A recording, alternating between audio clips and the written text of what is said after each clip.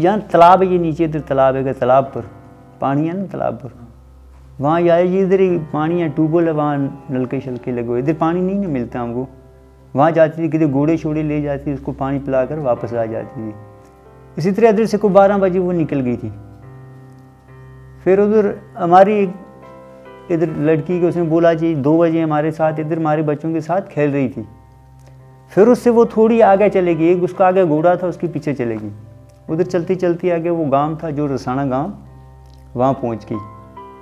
तो उधर वो बीना नाम की एक औरत थी, वो मकान के ऊपर छत पर थी।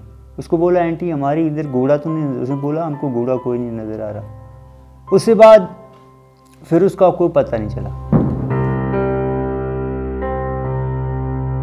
फिर चार बजे हमारे घोड़े वापस आ गए तो वो नहीं आ गए। पूरा इलाका हमने ढूंढा। हमारे साथ पुलिस भी थी और सैडी वाले भी कोई आदमी थे तो हमारे बुकराल तो बहुत लोग थे। तो पूरा ये इलाका हमने मत बोला, छाना कुछ नहीं मिला हमको। हम तो ढूंढते रहे, फिर पुलिस वाले तो कोई आया नहीं। हमको तो ये शौक हो गया, पता नहीं कोई दूर ले गया होगा, फ़र्क कौन ले गया। ये थोड़ा पता है, छोटा आठ साल का बच्ची ऐसा उसके साथ होगा। ये तो हमको पता नहीं था। फिर सतारह तरीक उसकी मतबल है वो बाड़ी में भी है। फिर तो पुलिस वाले भी आए, फिर वो फ़ोटो वाले भी आए, फिर उसकी पोस्ट मास्टर हुई, फिर तो बहुत सारा। देख रहते हैं आ जाएगी किसी से। और हमको रोन आ जाता है देखती रोटी नहीं खाता फिर हम छोड़ देती हैं। भाई छोटे की हमारे पास नहीं सोना देती थी। बोलती थी, हमारा मम्मा है ना, आप इधर सो जाओ, डैडी के पास, इधर क्यों आता है? उसकी बात तो याद आता उसका कपड़े देखते हैं याद आते हैं। जब पूरे कपड़े भी नहीं देखते हैं चप्पल देखो उधर ही रखा है। सब कुछ देखता है। हर टाइम वो याद आती रहती है। हमको दूती तो नहीं है। किस जुल्म से वो मारी मारी है। कोठे से फेंकी है नीचे उधर से गिराई है। फिर भी उसका सांस नहीं निकला। फिर बिजली का करंट दिया फिर भी सांस नहीं निकला। फिर उसको फांसी दिया है। ये दो दांत भी टूट गया है। इधर ये लत दोनों दो जगह से टूट गया है। कोई इंसान की नींद थी ये। बच्ची कितनी थी ना बिल्कुल छोटी थी ना। लगता है ना डर इधर उधर जाता है डर लगता है। ये पहले जैसा दिल नहीं दिया अभी तो बिल्कुल डर लगता है ना। वो बचा गया? हमको दिल उधर ही है। जी खबर कब आएगा? खबर उनके साथ क्या हो जाएगा। वो तो डर लगता है अभी। सिर्फ़ चार आदमी है पाँच थे, वो लड़की चले गया उन चार रहे डर क्यों नहीं लगता है? जिसके घर के आदमी चले जाएँगे, वो डर नहीं लगते बहुत मुश्किल है। दिल भी उदास है। देखो, हम वो अभी दवाई खा रहे हैं। पठानकोट से लाते हैं, वो है ना, राजपाल डॉक्टर। बिल्कुल टेंशन पाट के पहले भी बच्चे मार गए। अभी भी वो मार रही है। हम टेंशन ऐसी टेंशन हम कहीं दवाई नहीं खाएँ, बिल्कुल हम डोन हो जाते हैं। उस गाँव को देखना नहीं चाहते हैं। इतनी नफरत हो गई है। उनका कोई नज़र आ गया आदमी हमको उसकी इतनी गुस्सा आता है। ये ऐसे कैसे इसने किया है ये हमारे साथ? ये किसी का बच्चा है। तूने ने सात दिन रख के फिर क्यों मारी? है अफसोस की बात है। और उसको रोटी कहाँ दिया होगा? वो पानी कहाँ पीती होगी? इधर से खा गया, वो सात दिन किस बची होगी? जो जो पकड़ा है, हम उसको पहचानता भी नहीं है, देखा भी नहीं कभी, उनको पकड़ता है। आखिर वो लड़का बताता है ना, हम तो अंगली से पहले कभी दिखाता था, हम पहले दिखाता जी, अरे हमको इसको पर शक है इसे को पकड़ो। तो हमारी बच्ची, जिंदी छा मिल जाती।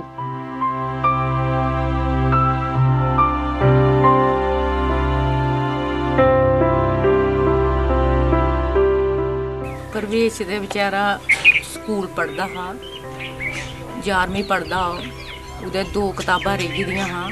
उसी ऐसा कंप्यूटर पर रखाए रहा बच्चे ही तो विद्यालय जाकर कंप्यूटर जिथा सिखदा उत्था तुस ओह्दी जानकारी लेई सकदे स्कूल ओह्दी जानकारी लेई सकदे तुस मेरा बेटा इस कम्मा दे बिच बिल्कुल निं ऐ छोटा जेह्ड़ा ओह् विद्यालय तक खजूरिये न उं'दी दकाना पर ऐ चड़वाल 5-6 5-6 ਸਾਲ ਹੋਈ ਹਨ ਉੱਥੇ ਕੰਮ ਕਰਦੇ।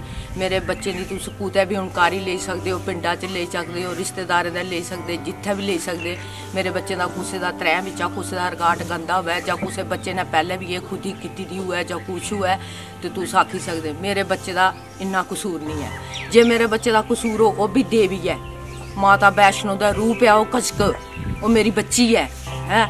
ਜੇ ਮੇਰਾ ਬੱਚਾ ਉਸ ਗੱਲਾਂ ਵਿੱਚ ਹੋਇਆ, ਜਾਂ ਕੁਛ ਵੀ ਹੋਇਆ मैं अपने बच्चे या पुखड़ो या गोली चकड़ा की एक्चुअली क्या कि जैसे स्कूल की सोसाइटी में बच्चे और ऐसे हो जाते हैं, थोड़ा फ्रेंड्स के साथ गलत सोसाइटी में शुरू हो जाते हैं। उसका ये था कि शायद वो स्कूल के कुछ बच्चों के साथ ना वो बाहर आना जाना उसको कुछ ऐसा हो गया था। वो सुनने में तो मुझे आया ये कि वो बोलते थे कि ये नशे करता है, पर ऐसा कुछ भी नहीं था। बस एक जो होता है ना कि एक लाइन होती है बच्चे की बिगड़ने की, बस वो उसी लाइन पे चलने वाली की हरकत कर रहा था तो बुआ ने उसको इसलिए उसको बोला, पुलिस पे ऐसे करा कि रात को ये ऐसे कहीं यहाँ शाम को आना जाना ऐसे शुरू हो गया था उसका एक, एक बच्चा छोटा बच्चा ये हरकत नहीं कर सकता। और ये आप खुद सोच सकते हो पाँच छः सात आठ दिन तक रखना एक बच्चे में बहुत बड़ी बात होती है।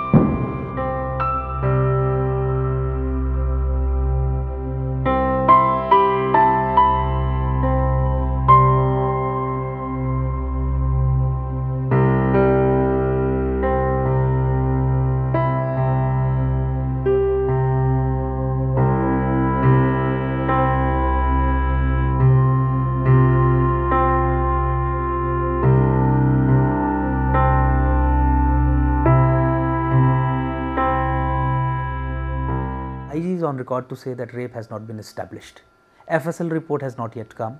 Uh, we have been told uh, कि FSL रिपोर्ट में भी जो प्रिलिमिनरी इन्फॉर्मेशन उनको वहाँ से आ रही है रेप इस्टेब्लिश नहीं हुआ है 12 साल से छोटी लड़की हमारे कल्चर में देवी का रूप होती है हम उसे लड़की भी नहीं सम- समझते हम उसे गॉडेस देवी समझते हैं आसिफा देवी थी तो क्राइम ब्रांच ने बहुत अनप्रोफेशनल तरीके से इस केस को जब हैंडल किया तो कहीं ना कहीं लोगों के दिमाग में डिस्ट्रस्ट आई और लोग केवल और केवल ये चाहते थे कि अगर एक इम्पार्शल प्रोब होनी है क्योंकि चीफ मिनिस्टर ने कम्युनलाइज किया सिचुएशन को। चीफ मिनिस्टर ने प्री मेच्योर स्टेटमेंट करके सारी इन्वेस्टिगेशन को जेपरडाइज किया। उससे जो डिस्ट्रस्ट पैदा हुई और जिस तरीके से क्राइम ब्रांच ने टॉर्चर करना स्टार्ट किया। फेसबुक पे फ़ोटोज़ हैं अ, हाथ फूल गए हैं हाथ हाथों को मतलब दबाया गया मतलब काफ़ी ज़्यादा दिखता है कि थर्ड डिग्री इस्तेमाल किया गया विजिबली उससे डिस्ट्रस्ट डिस्ट्रस्ट पैदा हुई कि शायद एक ही डायरेक्शन में इन्वेस्टिगेशन जा रही है और शायद विच हंटिंग चल रही है। तो एक सीबीआई की डिमांड के लिए लोग इकट्ठे हुए, जिसको महबूबा मुफ्ती ने गलत तरीके से पेश किया और कहा कि ये रेपिस्ट के सपोर्ट में वो केवल और केवल सीबीआई की डिमांड मांगने के लिए लोग इकट्ठे सीबीआई की इंक्वायरी मांगने के लिए, इन परिस्थितियों में लोग इकट्ठे हुए थे।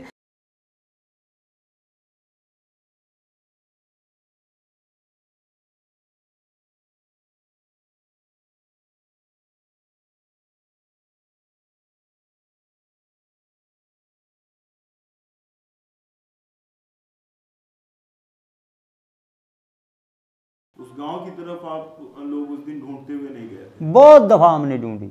उस जगह पे जहाँ पे लाश मिली है वहाँ बिल्कुल बिल्कुल तीन जब आठ आठ दफ़ा हमने वहाँ ढूंढी।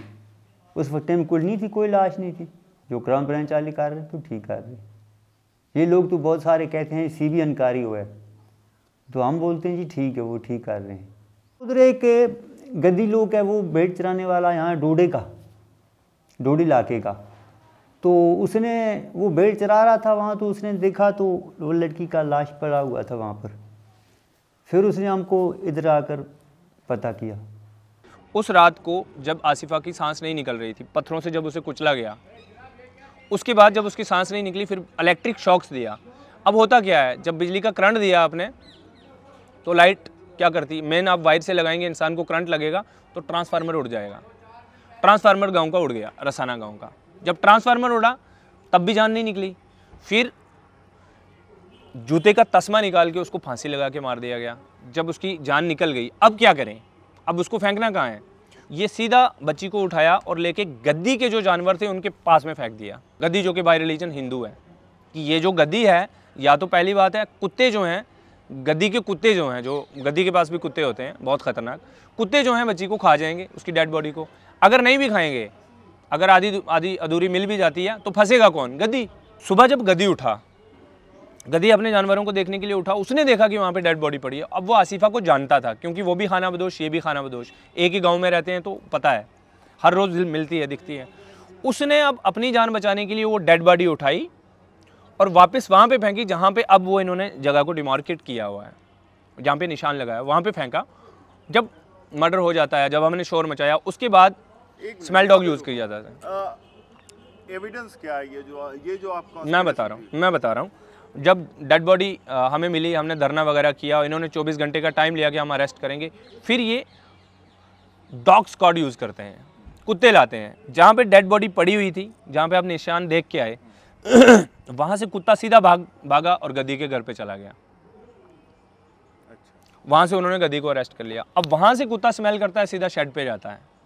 जो रूट था ना, वो पूरा उसने क्लियर किया कि ये रूट है भाई साहब, यहाँ से यहाँ आई, यहाँ से यहाँ आई। Why should a case be transferred from one investigating agency to another there should be some evidence of some kind of a prejudice in place now the crime branch according to report same seems to be moving as per evidence as per procedures where is it at least the bar association there are legal luminaries heading that organization. They should be able to say where is it that they find that legally the crime branch is misusing its authority and therefore we do have no trust in that. There are hundreds of cases on a daily basis. Are we handing over every case to cbi why this one? An 8 year old has been raped and murdered is a barbaric, heinous crime. This barbarism has no place in a civilized society. We strongly believe, we have strongly demanded that Asifa in her grave must get justice. And the perpetrators of the crime are criminals and they should be doled out the highest possible exemplary punishment so that it becomes deterrent for others. We also strongly believe that any effort on the part of any political party to either criminalize it or to politicize it is also abetting this crime. So we strongly feel any political party, particularly the two political parties, the PDP and the BJP who are ruling the state, who are actively involved in criminalizing and politicizing the event, I think shame on them. They should hold themselves back. Fair and fair investigation must happen. Those who are the culprits must be brought to book.